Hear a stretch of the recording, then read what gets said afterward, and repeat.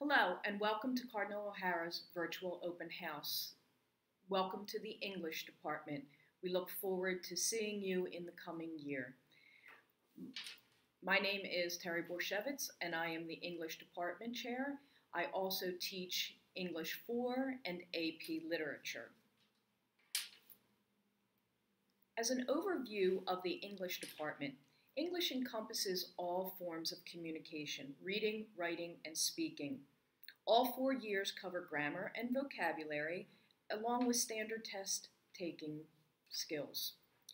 The literature of each time period includes prose, poetry, drama, and informational text.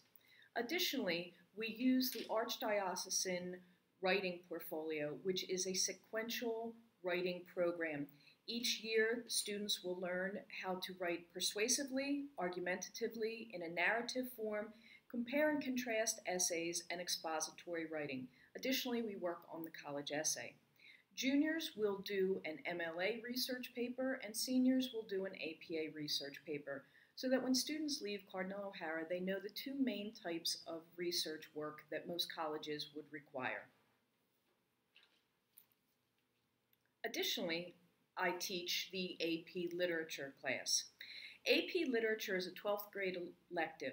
It is a college level seminar class wherein we do analytical reading and writing with poetry, prose, and drama extending back to the 16th century. At the end of the year, there's the possibility that students take the AP exam. Should a student score well enough, he or she could actually get college credits. Now, each member of our department will introduce him or herself and discuss a specific aspect of the English department. Hi, I'm Matthew Brooks, and I teach English 1, English 2, and English 4. Uh, the English 4 class is for the seniors, which is 20th century American literature starting in 1914. And we cover novels such as Great Gatsby of Mice and Men, and the play that we read is Hamlet. We also offer creative writing and film as a visual literature during your senior year. Thanks, I hope to see you soon. Welcome to O'Hara. My name is Mrs. Shannon Gillespie. I'm a proud graduate of the class of 02, and I've been teaching here at O'Hara for 11 years. I teach the ELA 3 course, which covers American literature from the beginnings until 1914, where you'll pick up senior year. And I also teach the AP Language and Composition course, which is a course based on rhetoric and persuasive speaking. Can't wait to see you here soon, Lions. See you later. Hello everyone, my name is Miss McDermott. This is my third year teaching at O'Hara. The courses I currently teach are ELA 2, our sophomores, Honors Journalism, and RCA Ancient Literature. So ELA 2 is a required course for all 10th grade students and is a continuation of study from the freshman year. Students read and respond to various genre selections from foundational works of literature. And then our journalism course.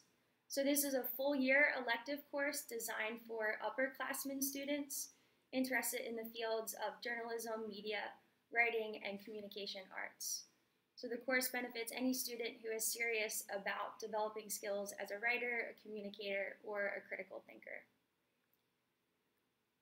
Okay, that's it from me, um, and I do hope to see you sometime in the future.